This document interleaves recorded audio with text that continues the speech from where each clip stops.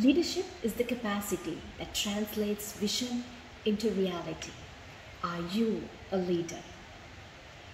Am I a leader? Ask this question from yourself.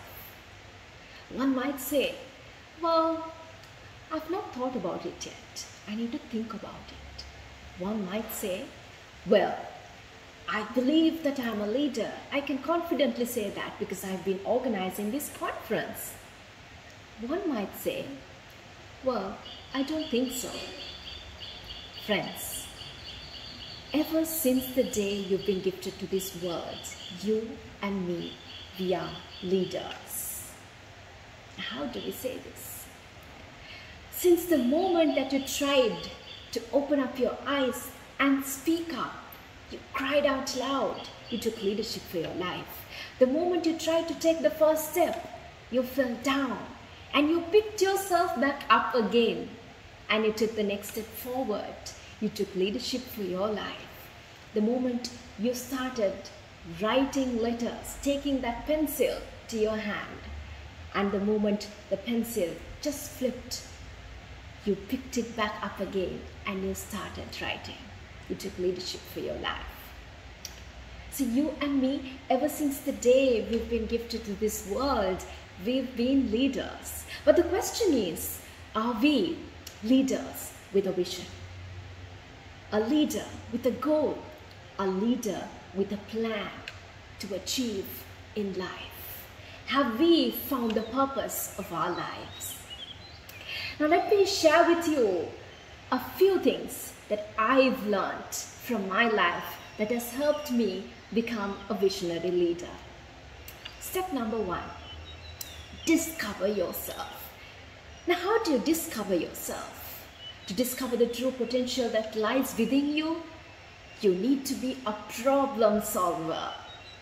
How do you become a problem solver? Now, in most cases, we understand our life is like a roller coaster ride. It has ups and downs and twists and turns. And during this roller coaster ride, we go, we go through different problems in life. But the moment a problem comes in front of us, it's up to us whether we are going to become a solver or whether we are only going to worry about that problem, making another problem at the end of the day. Two, to take risks in life. Be a risk taker to unleash the potential in your life. Now, how did I do this? I started off my education when I was two and a half years old. Why? My parents wanted to push me to school at a very early age because they were super busy parents working, one working at the Ministry of Higher Education of Sri Lanka and the other working at Sri Lanka Customs Department. Super busy parents. Now, was my life a bed of roses? No, it was not. Life became very hectic, terrific, and terrible. Why? Because I was going through a lot of bullying amongst the teammates, peers in the class. Little did I know that I had to go through all of these troubles when I took that very first step to get into the school at a very, very younger age. But here come surprises in your way as problems. But are you only going to keep looking at those problems and only keep worrying about it? Or are you going to take leadership in your life to solve those problems? Now, this is how I took leadership in my life. I was not a very good student in my first few grades, starting off from the lower kindergarten to upper kindergarten to grade one and so on. I was either the 13th, 14th or the 15th in the class and I was just trying my best to manage things, going through a terrific time in class and always I used to come back home and cry and tell my mom to homeschool me. And that was the only thing I pleaded and asked for her, asked from her every single day that I came back home from school. So friends, this one single prize awarding ceremony changed my life. I still remember grade two prize giving ceremony. I was seated right at the back of the hall, waiting, watching. Why was I seated right at the back? Because I didn't have a prize. I didn't have a certificate. I was only watching the performances of the other students, the peers, the classmates who have performed extremely well during the year. My parents were not there because I didn't have a single prize or a certificate. Lonely, seated right at the back.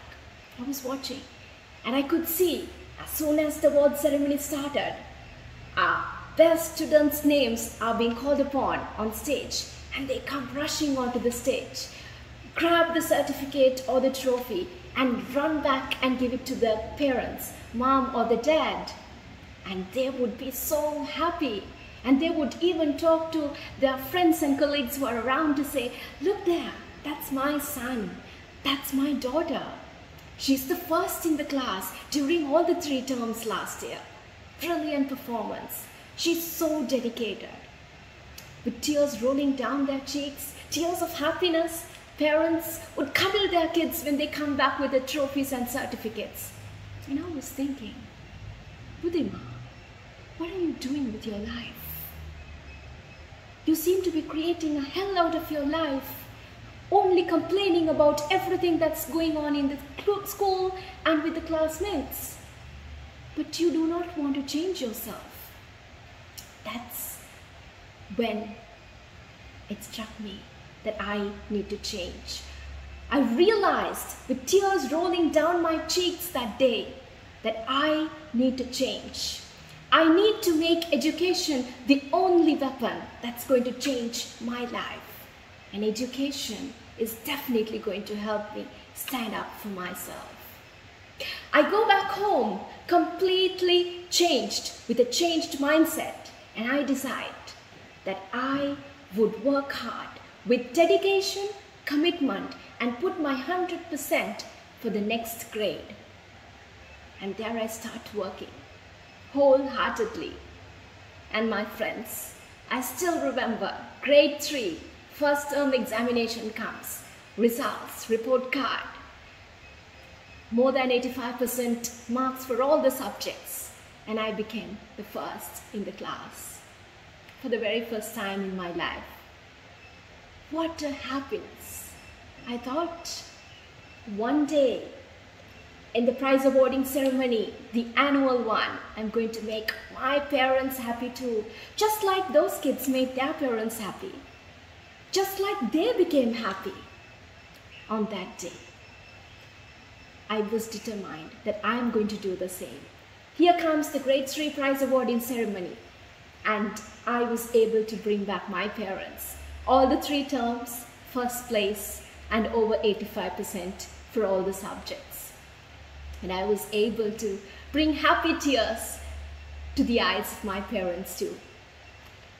Be a problem solver. Now coming back to my life, I was only 13 years old when I sat for my ordinary level examination. Little did I know that O-level examination is going to be a transformative exam in the life. But then I worked hard. I was able to achieve the grades that were required to move into the advanced level examination. And there I selected subjects that helped me achieve my life as a medical doctor one big dream that I had ever since the day that somebody would walk up to me and ask me, Buddhima, what do you want to be in life? Darling, what do you want to be in life? I would answer, I want to be a doctor. I used to collect all of these stethoscope and doctor sets and dream of becoming a doctor. So there I go for my advanced level examination when I was only 15 years old sat for the examination, got flying colors, successfully completed the exam. But in Sri Lanka, we were not able to get into a national university being an international school student. Then a problem comes and I need to solve the problem. I talked to my parents and I started applying for international universities to pursue my dream of becoming a medical doctor one day. But there comes another problem. Both my parents were fully against me traveling to an unknown country at a very younger age, like the age of 15, to pursue my dream of becoming a medical doctor. And there I started researching on Google, what should I do now? And I realized that computer science is going to be my dream now. As computer science is an area that combines all the different areas, all the different fields in the future. So I should become a PhD one day. I was determined. So I completed a double degree at the age of 19 from the Curtin University of Australia and Sri Lanka Institute of Information Technology of Sri Lanka in computer science and software engineering, information technology. And then I moved to pursuing my career in PhD studies at the age of 19 and at the age of 24 I was able to successfully graduate as the youngest PhD holder of South Asia, keeping a record. Friends, life is a beautiful journey. It has ups and downs and twists and turns, but it's not a single destination. The moment you take risks in life, the moment you face problems with a positive mindset, you will understand that there are thousand opportunities out there waiting for you.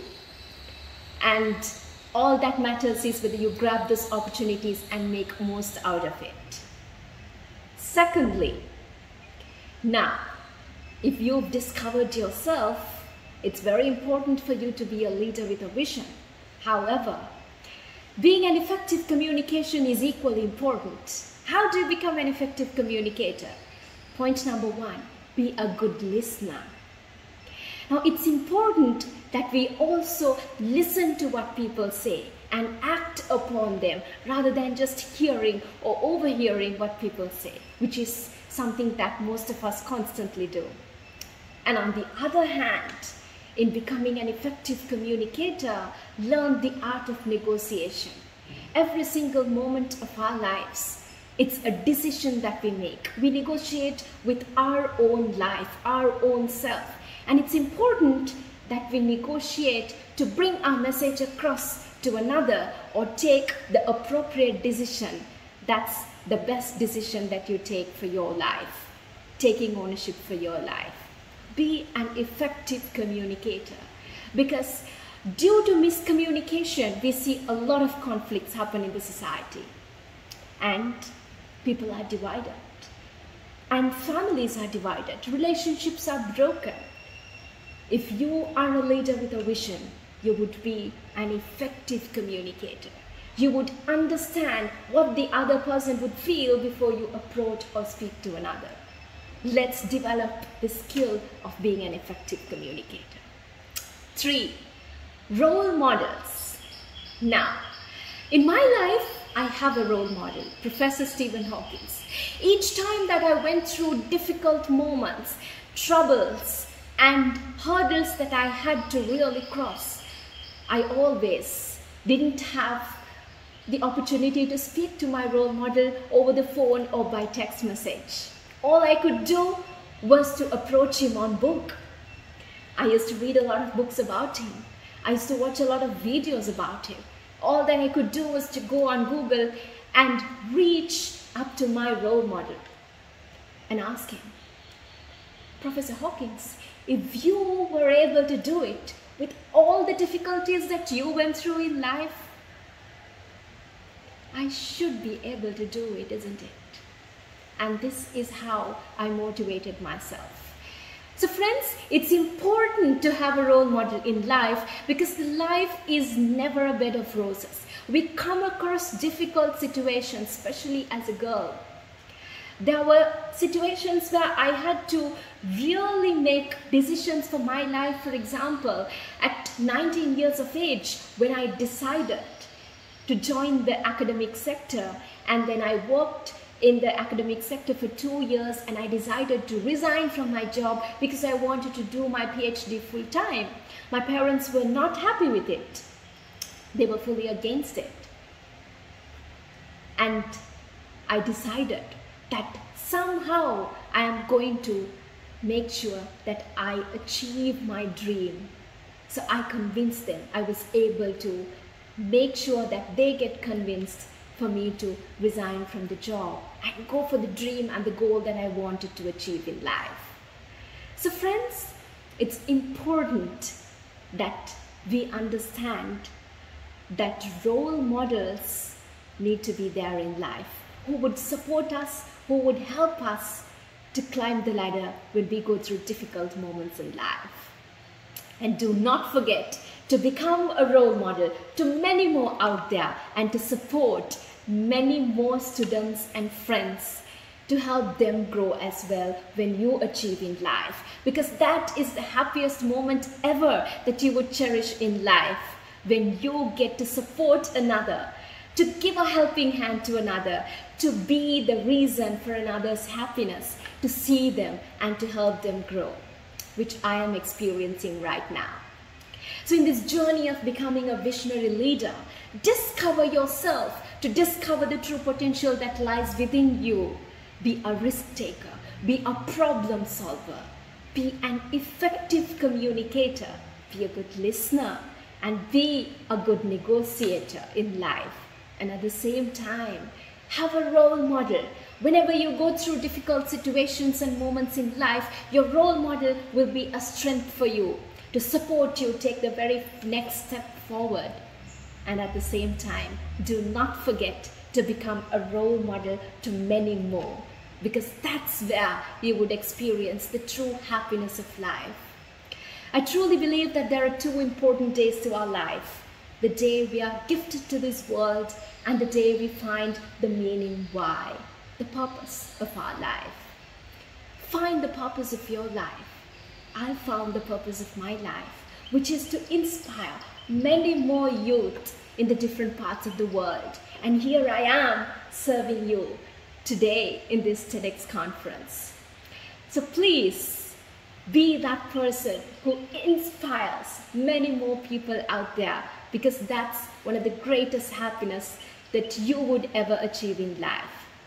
Dreams can always be achieved and accomplished if the right action is taken towards its achievement.